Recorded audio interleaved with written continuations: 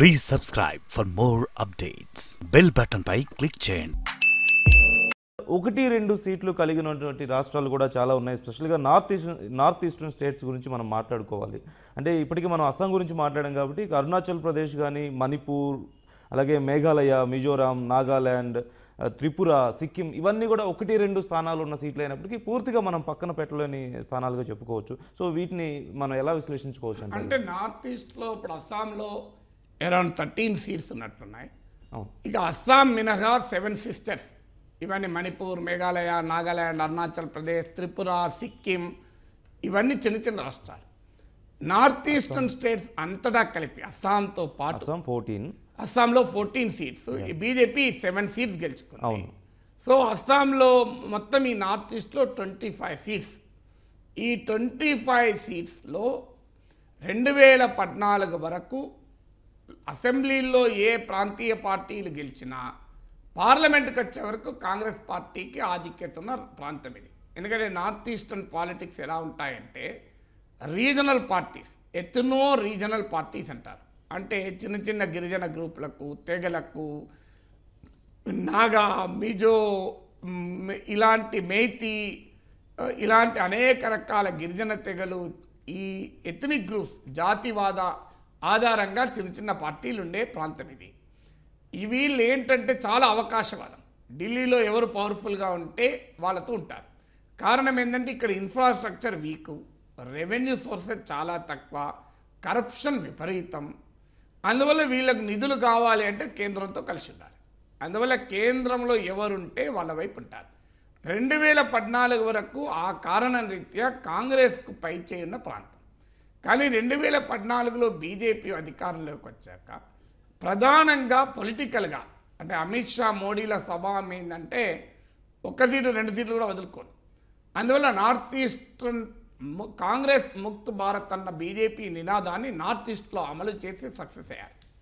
ఇవాళ నార్త్ ఈస్ట్లో ఒక్క స్టేట్లో కూడా కాంగ్రెస్ అధికారానికి అవకా వచ్చే అవకాశం లేని విధంగా తయారైంది. ప్రతి నార్త్ ఈస్ట్లో ఉన్న ప్రతి స్టేట్ అసెంబ్లీలో బీజేపీకి రిప్రజెంటేషన్ ఇచ్చింది సొంతగా గెలుచుకున్నారు వేరే పార్టీలను తమలో విలీనం చేసుకున్నారు రకరకాల మ్యాకినేషన్స్ మ్యానిపులేషన్స్ చేసి నార్త్ ఈస్ట్లో బీజేపీ ఒక ఫోర్స్గా నిన్నటి వరకు ఉంది. అయితే ఇటీవల వచ్చిన పరిణామం ఏంటంటే citizenship amendment bill citizenship amendment bill ఏంటి? ఈ నార్త్ ఈస్ట్ అరుణాచల్ ప్రదేశ్లోమో కొత్తగా పర్మనెంట్ రెసిడెంట్ సర్టిఫికేట్ అనే ఇష్యూ వచ్చింది. పర్మనెంట్ రెసిడెంట్ సర్టిఫికేట్ అంటే అరుణాచల్ ప్రదేశ్ షెడ్యూల్ ట్రైబ్స్ అని గిరిజన తెగలున్నాయి. వీరు కాక కొత్తగా వచ్చిన వాళ్ళకు అరుణాచల్ ప్రదేశ్లోకి వాళ్ళకు కూడా పర్మనెంట్ రెసిడెంట్ సర్టిఫికేట్ ఇస్తామని అరుణాచల్ ప్రదేశ్లో బీజేపీ ప్రతిపాదించింది. దీంతో అరుణాచల్ ప్రదేశ్లో తీవ్రమైన వ్యతిరేకత వచ్చింది.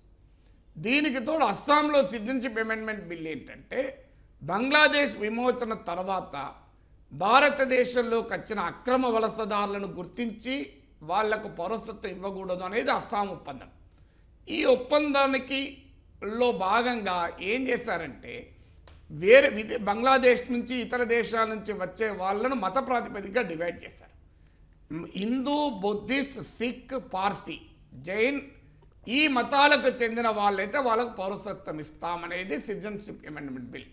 అంటే ముస్లింలు వలస వస్తే వారికి పౌరసత్వం ఇవ్వం. హిందువులు ఇతర మతాల వాళ్ళు వలస వస్తే పౌరసత్వం ఇస్తాం. ఇది బీజేపీ ప్రతిపాదన సిటిజన్షిప్ అమెండ్మెంట్ బిల్ అని. పార్లమెంట్లో ప్రవేశపెట్టారు కానీ అది పాస్ కాలేదు. ఇక్కడ అస్సాంలోను నాగాల్యాండ్లోను మ- మేఘాలయ ఈ అన్ని రాష్ట్రాల్లో కూడా విదేశీయులు విదేశీయులుగానే చూస్తారు. అది వాళ్ళు ముస్లిం కానీ హిందూ కానీ వాళ్ళకి అనవసరం. వాళ్ళనేది ఏంటంటే వీళ్ళందరూ వచ్చేవరకు విదేశీయులు వచ్చే వరకు మా భాష మా జాతి అస్తిత్వం దెబ్బతింటోంది అని ఇప్పుడు అస్సాంలో అస్సామీ భాష మాట్లాడే ప్రజలు మెజార్టీ కాదు. ఈ పరిస్థితి ఉన్నది కనుక మా భాష మా అస్తిత్వం కాపాడుకోవాలంటే మతాలతో సంబంధం లేకుండా విదేశాల నుంచి అక్రమంగా వలస వచ్చిన వారందరినీ వారందరికీ పౌరసత్వం ఇవ్వద్దనేది వాళ్ళ వాదన. దీంతో సిటిజన్షిప్ అమెండ్మెంట్ బిల్లు తర పట్ల తీవ్రమైన వ్యతిరేకత వచ్చింది.